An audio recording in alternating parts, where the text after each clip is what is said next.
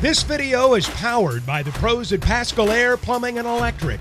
Arkansas owned, Arkansas operated. GoPaschal.com. Just des- describe the, the last play was basically just put the ball in T Mark's hands and let him go. Yeah, I mean we uh we spaced the floor out. Um, you know, TB did. A, you know, luckily we were able to get organized because we were out of timeouts, um, and and we were able to uh, set up a little bit of a press break. Um, even though they kind of matched up, you know, straight man, there was there was no, you know, press as there had been, so to speak. Um, and I thought that you know, we I mean, we got the ball in the hands of of who we needed to tonight because uh, T Mark was was playing with such great confidence. Um, and then we just spaced out. We had Davenport uh, in one corner. Uh, we had El. Ellis in the other corner. We had, um, you know, TB trailing as the inbounder, and uh, and then we had uh, Menifield on the forty-five degree angle on the left side, and just said, "There's no way we're taking a three. Like we've got to go to the cup, or at least get inside of that, you know, 12, 14 foot range, really." I know on, on the play by play goes as a layup, but it was a pretty clutch shot. Just what you think of the way T Mark handled that? Well, that's his. I mean, he's, you know, I know that all the analytics people talk about, you know, mid range being a bad shot. It's been a really good shot for us at Arkansas. Jimmy Whitt, uh, Ricky Council, um, T Mark. Like it's a it's a great shot for him, not a good shot. I mean, he's a lethal pull up jump shooter, uh, 12 to 17 foot.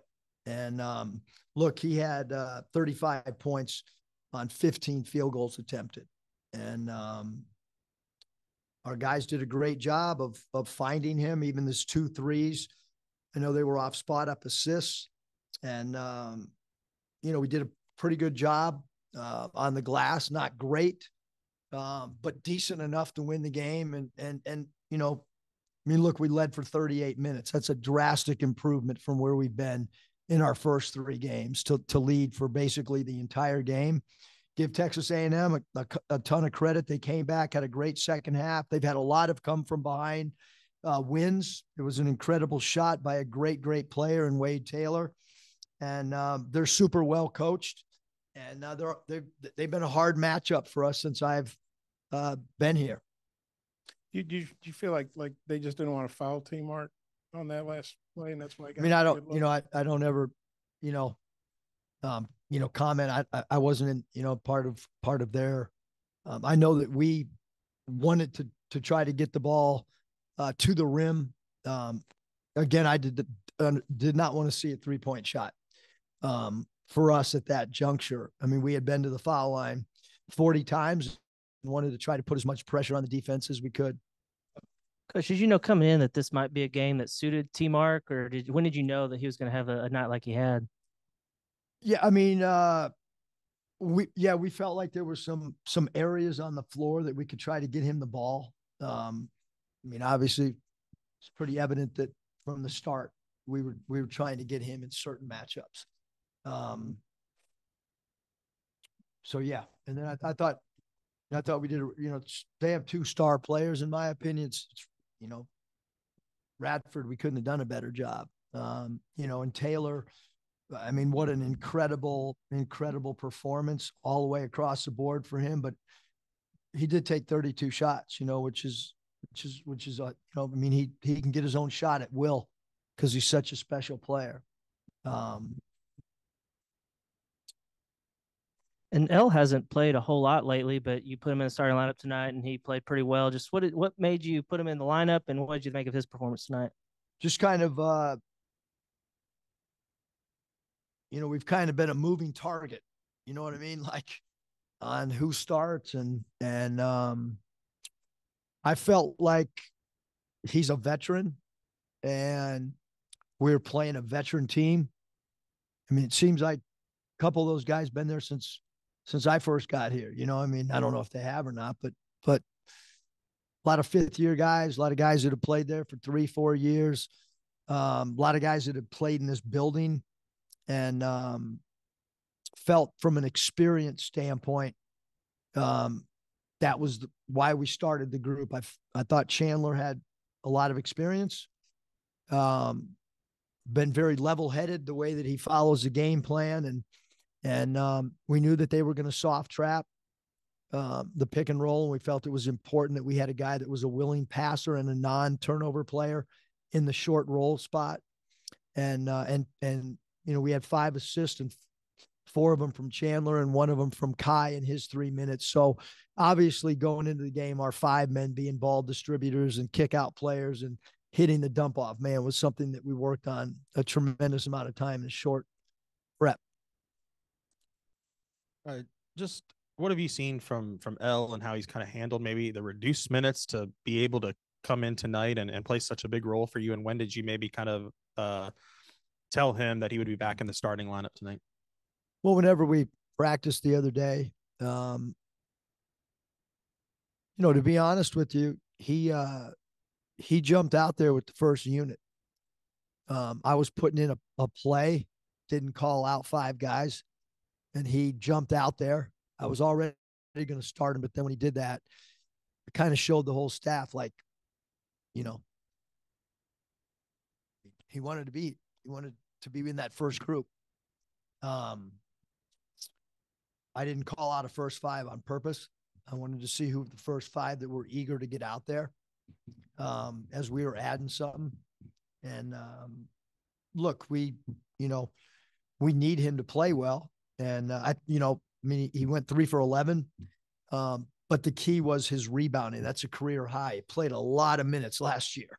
I mean, you look at those minutes every night, and for him to rebound the ball like he did, um, you know, phenomenal. And our bench has to rebound. I mean, flat out. Like, I mean, you know, this plus minus thing is important to me and to our staff. And um, we we got to get we got to get we got to get better in, in in the plus minus area from an individual standpoint. Some of our guys that that's got to happen for us.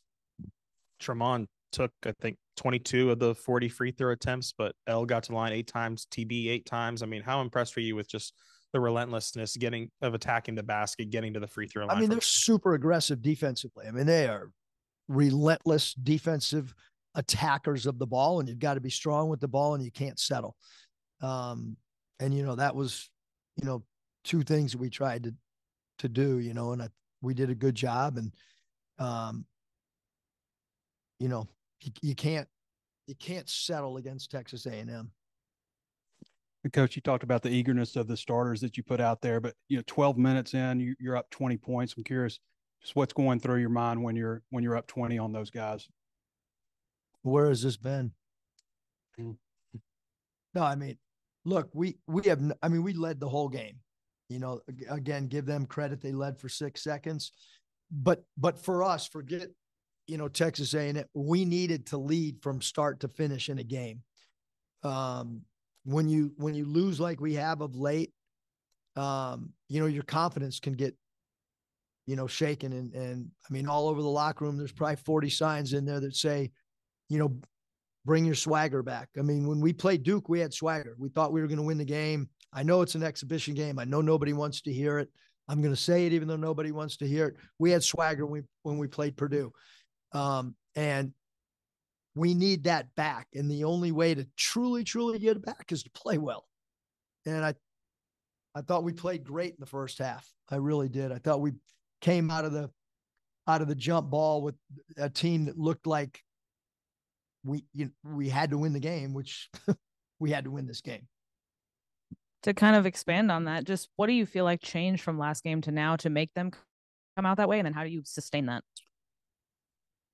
Well, one, we had a good crowd. You know, I think when you play at home, um, you know, Florida had a great crowd. Um, you know, and and uh different lineup. You know, I thought that, you know, Joseph and Layden played really well last game, and I think that, you know, kind of kind of put everybody on alert, so to speak, that, you know, you got to play super, super hard. You got to follow the game plan. And I think those two guys playing well kind of help some of the other guys maybe understand I better play or or or I'm not going to get my minutes back.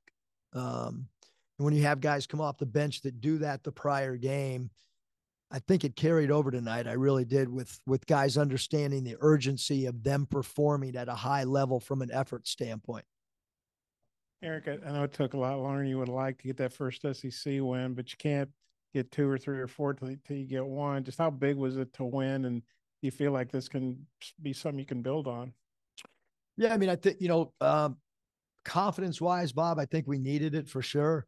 It's one game, it's over. You know, up there, South Carolina's depth chart right now.